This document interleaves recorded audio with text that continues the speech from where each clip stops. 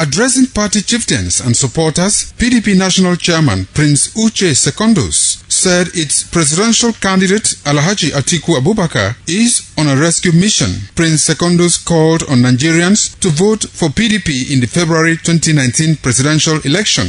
It is important that as we are here to let you know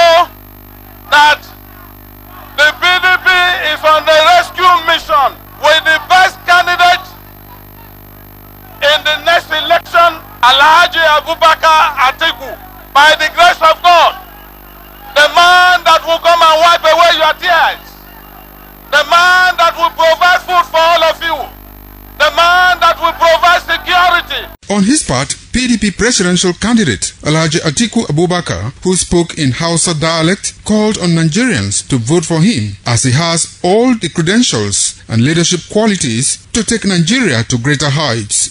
Others at the event include Atiku Abubakar's running mate Peter Obi, former governor of Jigawa State, Sule Lamido, former governor of Kaduna State, Ahmed Makafi, former governor of Niger State, Babangida Aliu, former governor of Kano State, Rabiu Kwangwazo, and incumbent Taraba State governor, Darius Ishaku. Pius Nsogo, reporting.